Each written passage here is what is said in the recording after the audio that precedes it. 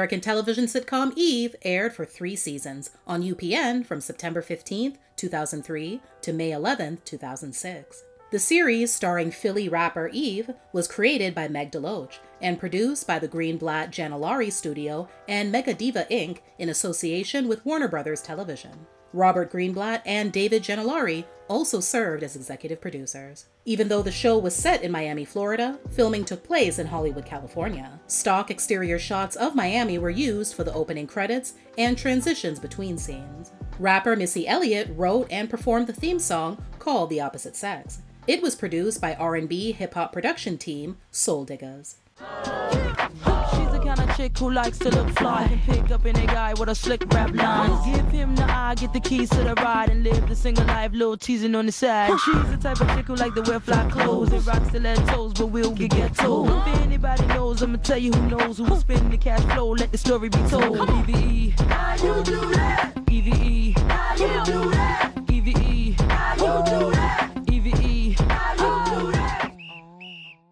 UPN executives approached Eve about developing a television project following her performance of her single, Gangsta Lovin', at the network's Monday night premiere party, a kickoff celebration for several of the channel's season premieres. She had previously garnered positive reviews for her supporting roles in the 2002 dramedy film Barbershop and 2002 action film Triple X.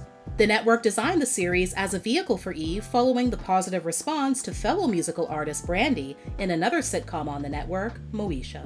In the November 2003 issue of Jet magazine, Eve said, I believe that once they saw me in the movie and saw that I was able to act, they wanted to make something happen. UPN talked to me before I was in a movie. After they saw me in the movie, they really wanted to make it happen. Fun fact to further distinguish herself as an actor, Eve decided against performing the show's theme song. The show revolves around Miami fashion designer and owner of her own boutique named Diva Style, Shelly Williams, played by Eve. Yes, even though the show is named Eve, her character goes by a different name. She's also on the search for the right guy. Her best friends, Janie, played by Natalie Desselle Reid, and Rita, played by Ali Landry, offer her friendly yet conflicting advice about men. JT, played by Jason George, Nick, played by Brian Hooks, and Donovan, played by Sean Maguire, speak on behalf of the guys. Fun fact Bumper Robinson was originally slated to portray JT, but was replaced by Jason for undisclosed reasons. The role of Donovan was also recast, with original actor Eddie McClintock removed in favor of Sean. Publicized as the Untitled Eve Project in an early press release, the series had the working title, The Opposite Sex, before it was changed to reflect Eve's status as the star. She actually wasn't supportive of the name change in the beginning, telling Jet, I fell in love with the name, but it was changed because it was more of a corporate decision. They explained to me that there were a lot of new shows coming on this season, and they just wanted people to know exactly what show I was on. They did not want fans to guess and flip through channels. That made sense. The sitcom, after it was retitled Eve, naturally shifted its focus a little, but at its heart, the show remained the story of six friends, three female, three male, trying to make sense of their love lives and better understand the opposite sex. It was one of four new comedies developed by UPN for the 2003 2004 television season as part of a new comedy block, including All of Us, Rock Me Baby, and The Mullets. A writer from Today described UPN's enlistment of Eve into a comedy as an example of the network's attempt to form its own identity through targeting a younger, multi ethnic audience. After production got underway, Eve admitted that doing comedy was a challenge. She even had two acting coaches, one in New York and one in Los Angeles. One of them was veteran actress and acting coach Chip Fields, the mother of actresses Kim and Alexis Fields.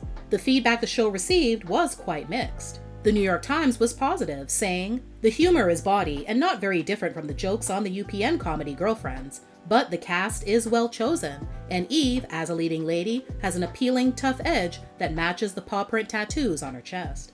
The Seattle Post Intelligencer initially talked down on the show's scenery, costumes, and Eve's, quote, embarrassing lack of dramatic chops, end quote. However, after a revised pilot, many improvements were noticed and appreciated. Other noteworthy aspects of Eve's preseason makeover glossier sets and threads, a sexier and more talented male lead, the smart acquisition of off center's Maguire, a Brit whose crisp delivery saves the clumsiest lines. all conspire to make this Eliza Doolittle of UPN comedies sassy enough to fit in with the rest of Monday night's steadily improving urban blog. On the flip side, the San Francisco Gate didn't hold anything back reporting. Eve might well be one of the most poorly thought out shows in years, and is no mites about it, easily one of the worst written and performed pieces of television in some time, and that's saying something.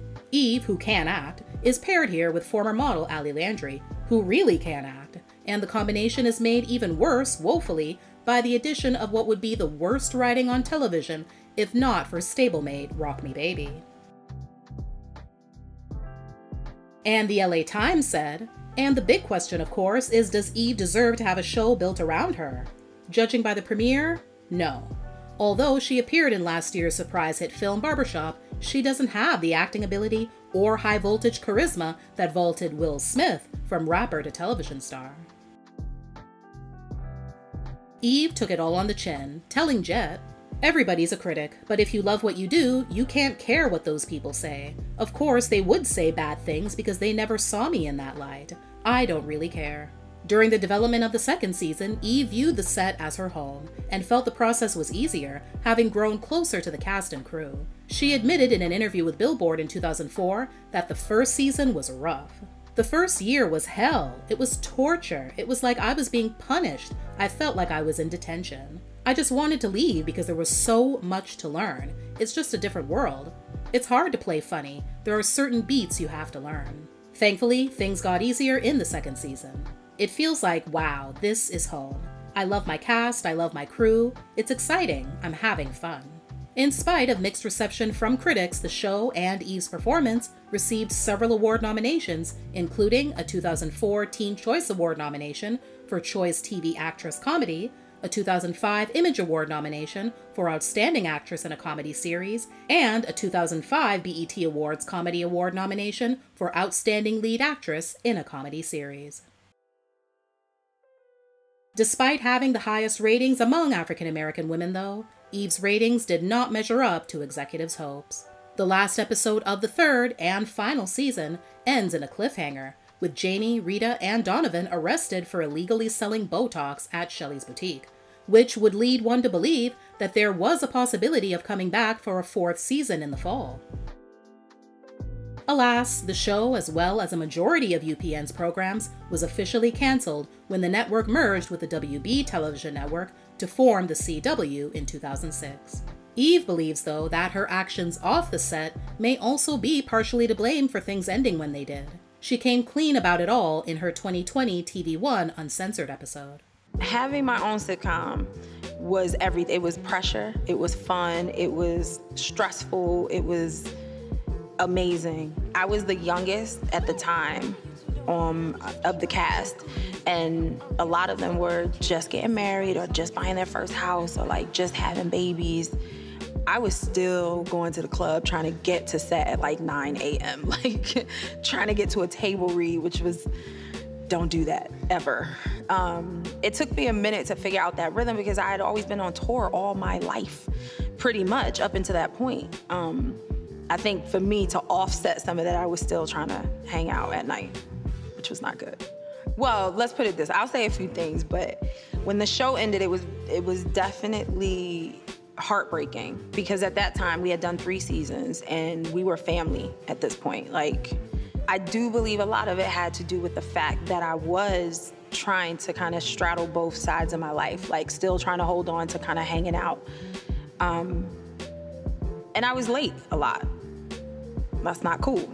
You know, I do think a lot of it had to do with my actions at that time. And I do think about it sometimes. When I look back on it, I'm like, wow, I don't I don't believe in regrets, but that is a that is one time in my life where I feel like I wish I would have taken it a little more seriously than I did. The show's cancellation was not well received by fans nor television critics. Many believe the move was strategic on the CW's part to void the network of any content featuring a predominantly black cast.